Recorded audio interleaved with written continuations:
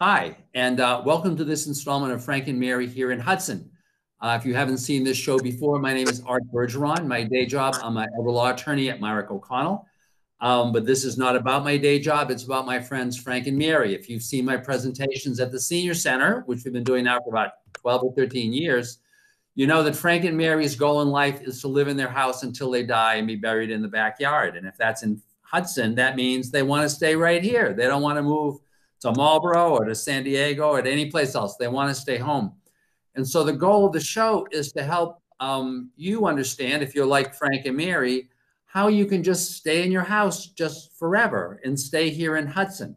So I've got this great co-host, John Parent, who everybody knows John because he's been a selectman now for a long time. I want to say six years, six yeah. years uh, to find these great guests to, to bring on just to kind of talk about issues that may be relevant to you. And John, I think we have a we have a, a, a terrific guest today that you found and you know appropriate. It's December. This might be really relevant information for folks. Who have we got? Very good. Thank you very much, Arthur. Um, before I introduce Joanne, let, let me just mention that the assessor's department itself uh, it is really a vital function uh, for the town of Hudson. You know, 64% of our revenue comes from real taxes, real and personal property taxes. Uh, so we really need to have a very accurate. Um, uh, they, they, play an extremely important role in make, making sure uh, that the taxes are accurate and that, and that the values are accurate. Uh, and next week, um, Joanne and her crew will be given a presentation on what they found uh, with the values uh, to the Board of Selectmen on Monday night. Uh, so without any further ado, uh, Joanne McIntyre has been with the assessor's office since 1993. Uh, so we can be pretty much assured that she knows what she's talking about. So with that, um, I'll, I'll turn it back to you, Arthur. Uh, and maybe just to get Joanne going, you can give her a couple of uh, questions.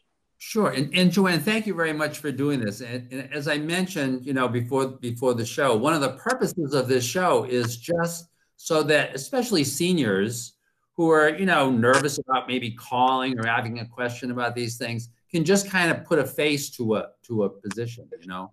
And so I think this is really helpful. So one of the things we had talked about, you know, before we, we were before the show was, can you just talk a little bit about how the assessment actually gets figured out every year? You know, people get this bill and it's got a you know a calculation you know of the of, of a tax and a rate and stuff but it's always based on an assessment and it changes over time can you just talk about that and then and then and then once we've done that we can kind of talk about some, you know, abatements that may be, el- you know, that, that some seniors may be eligible for and some other stuff. Go in. Okay, so in order to, you know, we have to get your value. So the value is um, based on the market. So, but it's not based on the market today. It's based basically a year and a half ago. So we're always in the past. We only we only value for tax purposes only. Um, and there, there's a lot that goes into it. It has to be, you know, comparable houses, you know, like um, capes being compared to capes, condos with condos, um, colonials with colonials. You can't like compare a colonial house with a ranch. They, they just don't jive. And some years, um, contemporary houses are super high, and then ranches could be really low or you know a raised ranch they, they could be the one trending trending on the market. It it just goes by how the market is.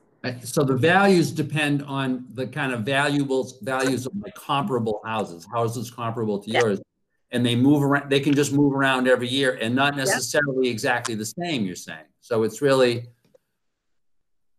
yeah so it's so it's so it's really kind of a constant readjustment. And and, and if if somebody were saying to themselves, well, how does she know what's in my house? You know, is it is there is this based on on any kind of you know data that you have regarding these houses? And and and and and if somebody wanted to can change that, how would they change it? So it, it's based on square footage, um, yeah. the square footage of your house, the number of bathrooms, add into it. If you have a fireplace, that adds into it. Um, and your land also adds into it. So one person could have a 15,000 square foot lot, another one could have two acres. So that, that has a lot that goes into it. Um, and, and, and if and if I had a if I had a question about about how you're figuring my taxes out, or if I wanted to say, gee, it doesn't seem like that value is right, what what would I what would I do? So you would call the assessor's office. Um, you would talk to me or anybody else in the office, but unfortunately, right now it's just me. Um, so you would call you. I you could make an appointment. I could go out and check your property out um, do a walkthrough. But with COVID right now, I, am a little, you know, people are leery. They don't want me walking through, and I don't want to walk through there. Right. So, um, so we would, you know, go over their field card, make sure that everything is correct on there, um, and then they would file for an abatement, and that you file for an abatement in January. So you have from when the actual tax bills are sent out the end of December till February 1st. Okay.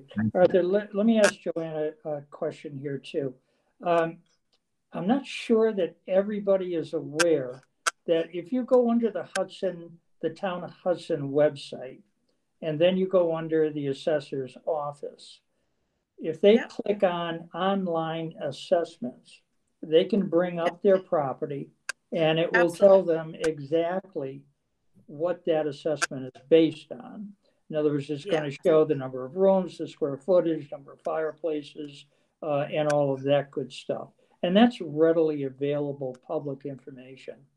Uh, the second thing that I wanted to mention is we, we talk about fluctuating values. Uh, I think there's one circumstance where the value is going to be pretty much set, and that comes to a brand new sale. So a house may have been valued, uh, let's say $400,000 a couple of years ago. Now they go out and they sell that home in today's market for $600,000 versus the 400 from a couple of years ago. Doesn't that 600,000 then become the market value and wouldn't the taxes be based on that new figure? Yes, but it wouldn't. So we don't assess like if you sell your house for the six hundred thousand. Yeah. We're not going to automatically assess it for the six hundred thousand because we have to go by all the comparable homes. Okay. That- so if you were in an area that did not have that many sales and the majority of them were valued well below the 600 grand you would not necessarily get hit with the 600,000 valuation. Right. Okay. All right. Okay. See, I thought that was an automatic thing. All right. Yeah. No. Go by by what a specific home sells for. It, it's all the comparable homes. Okay. All right. All right. Very good.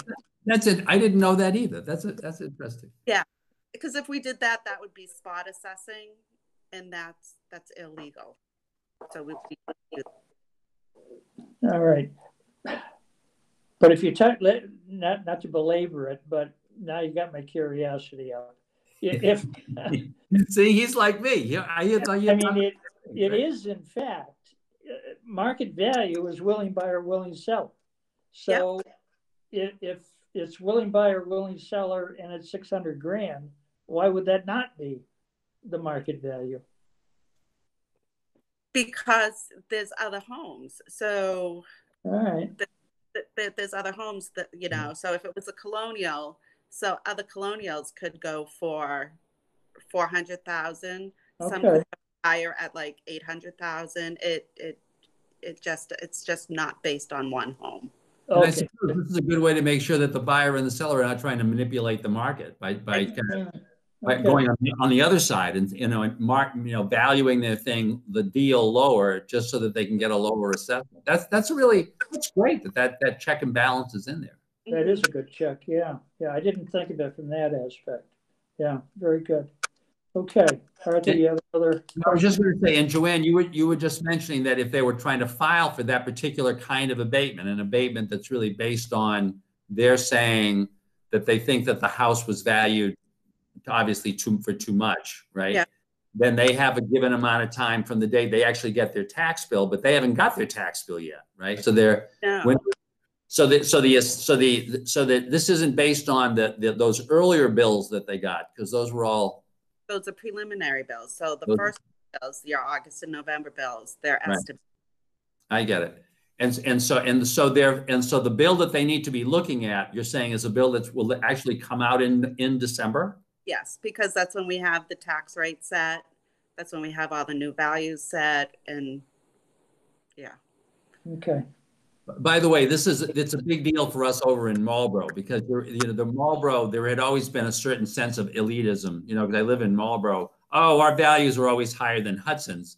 But, but suddenly I'm told that over the last several years, that's flipped. And now Hudson, Hudson values are higher because Yeah. of that, because of your Main Street, because of your great, among other things, you know, because of the Main Street, right? Yeah. So it's, Yeah. it's, a- it's a wonderful incentive to the local officials here, like, oh, we gotta be, we can do better than that, you know? It's, Yeah.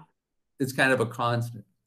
So, so can we talk a little bit now about if, you know, if I'm a senior Mhm. and I'm really wanting to stay in my home, you know, that's my goal. I want to stay in my home and I'm just trying to figure out, and, and I know from my, myself, you know, from doing this kind of work, so I deal with a lot of seniors and for them often, you know, the tax bill is the second biggest bill next to their food. You know, it's a, it's a, it's a big deal, right?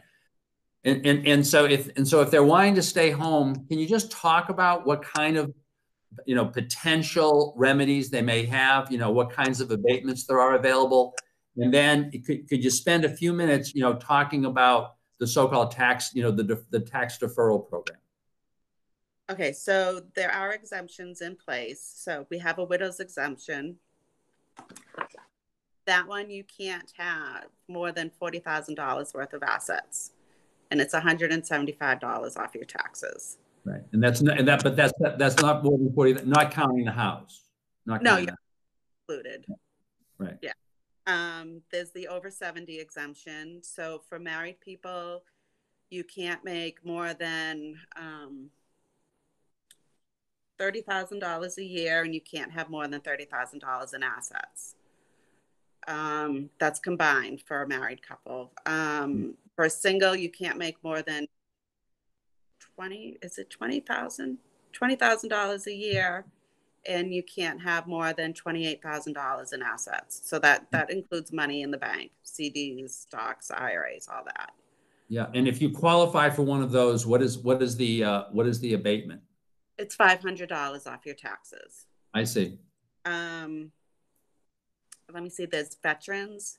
There's all sorts of veterans. So if you're below hundred percent disabled, um, you can get four hundred dollars off your taxes. If you're hundred percent disabled, it's um, thousand dollars. And then there are, there are other ones. If if you're paraplegic, you're fully exempt from taxes. oh, I see. I didn't know that. Yeah, And- and then there's a hardship clause, um, clause eighteen, and that the board votes on.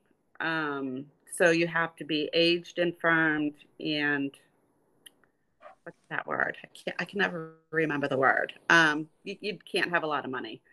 So Right. that one, yeah, Oh, that one, Indigent or, yeah. okay. So You know, for, regarding, I'm just gonna, I'm just act- wondering regarding, so for, just two questions regarding most of them. So there's actually a fixed dollar amount for the abatement. So it makes no difference what, what your taxes are. You, you Right. just, a fixed amount that is off. And, and regarding the last one that you just talked about, right? Do, do you, do you find people who, who, who do apply for that? Because once again, I'm, I'm thinking about, and, and, and from your experience, this is, this is a question for the whole Board of Assessors to vote on, right? Yes. And you- and this is case by case. Can you just kind of talk about what, you know, you know, obviously you're not talking about particular, you know, you know, people, but, but about cases that that that that the that you've seen in the past with where where the board has been sympathetic to that kind of abatement request. Mm-hmm. Yeah, yeah, we have we have a few of them that we that we do. Um, and and it, it all comes down to the money and you know and what they have and what they don't have and and what's going on it's it is it's really case by case and that one they do not have to pay the money back oh that's good that's good Joanne, is there also a? I, I don't know if it's money off the taxes or if they in fact receive dollars, but I know there's a work program. There is. Maybe um, you can talk about that a little bit. The senior work program, um, I don't have too much to do with that right. part.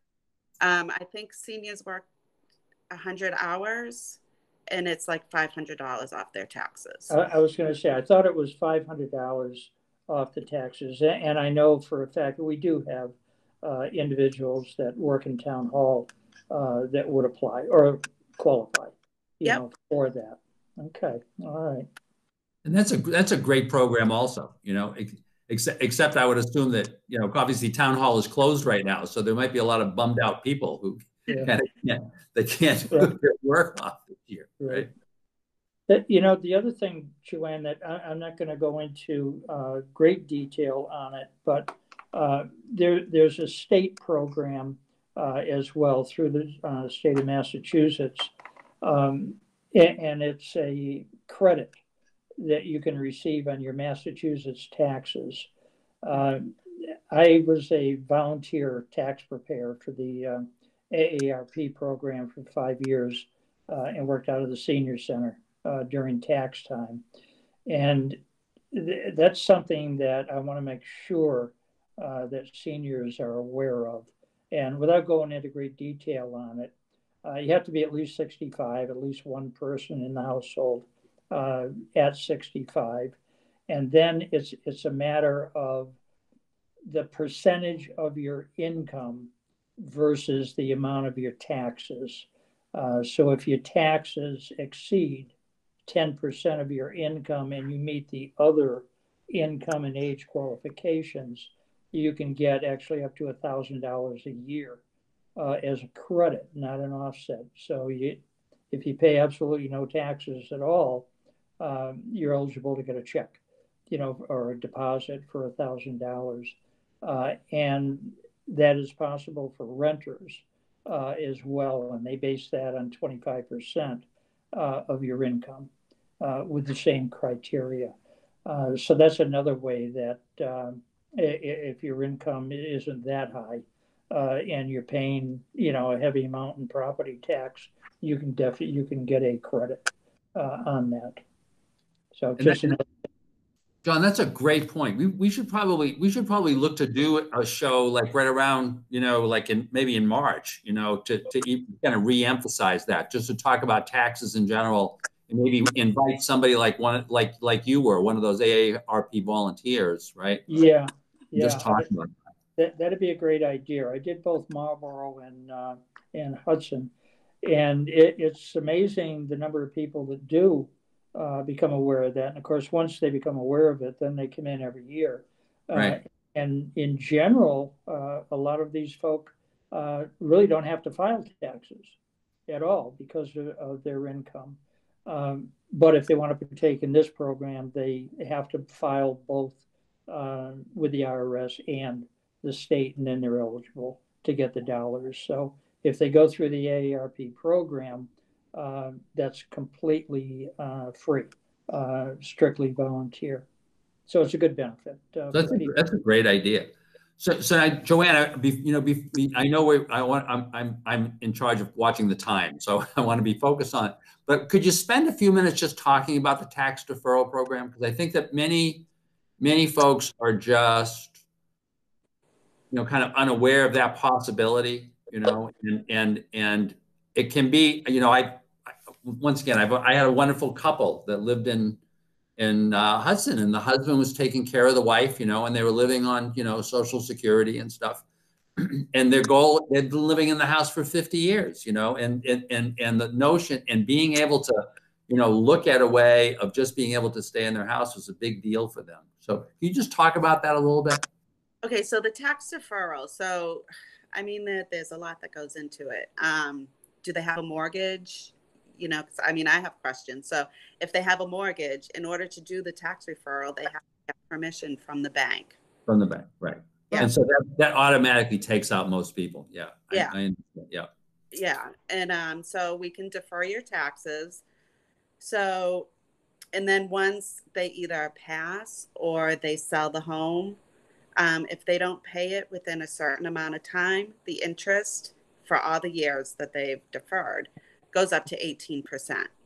Whoa. It's it's big. It's big. So, and I mean, and they can only defer up to. I'm pretty sure it's half the value of their home. So once they've done that, then they go on and um, they'll, they'll have to pay their taxes again. Right. Right. But, Yeah. that- but, That could be some substantial dollars. yes. And, and you, and do you know what, I know that the state, state basically sets these kinds of minimum or minimum criteria and says, you know, you can, you can, you can set whatever rate you want below that, but that the state has a rate. If I recall correctly, the state rate was, is either 6% or 8%. But do you know, does, does Hudson have any special, you know, do they, do they charge less than, less than the required state number? Have they done anything to modify the state number? No? Mm. No, I think it's six. I want to say it's six. Yes. But, and, and, and, and, and once again, if, if folks are interested in just talking about that and trying to figure it out, they should be, they should be, talk- they should be talking to you in the assessor's office. Yeah, Yeah, and again, that's a vote by the board also. Right.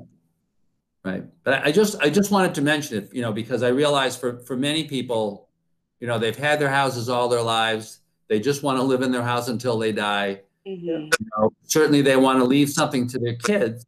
But I Right. try to emphasize, I try to emphasize to them, you know, this is, when the house gets sold, the taxes will get paid, you know, and, and, and so you're not, it's not like the town's gonna take the house, you know, No. the house is gonna get sold, the taxes will get paid, you know, it's not like, you you know, you're not giving anything to your children.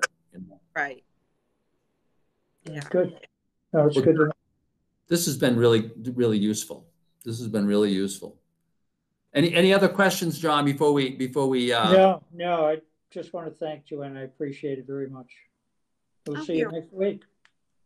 Yeah, see you Monday. That's right. You guys are setting, you're, you're setting the rate and doing all of that stuff. Yep. So, so folks, you know, the, the point of this show is to give you options, right? You know, so, so Joanne is there.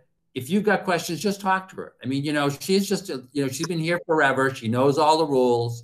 If you've got a question, she's not there. They're not, she's not there to keep you from getting your abatements. She's Oh, there, no, not. she's there to help you get your abatements, right? Yeah. There you go. And, and John, I think this is just, this has just been really useful. I think it's really kind of one of the key purposes of the show. So thank you very much for convincing Joanne, who you said was, was very Little hesitant shot. about coming on, uh, to, to take your time to do this. So we really appreciate it. So, so thank you, Joanne. Thank you, John, for being willing to, Yeah. to do this. Uh, and folks, I hope you, hope you enjoyed this show. If you've got any, oh, go- Joanne, can you give a phone number that Oh. people could call? Yeah, it's nine eight five six eight nine six two zero. Great. So if you've got questions, she's the person you want to talk to. So, uh, folks, I hope you've enjoyed the show, um, and we'll look forward to seeing you on the next installment of Frank and Mary here in Hudson. Stay safe.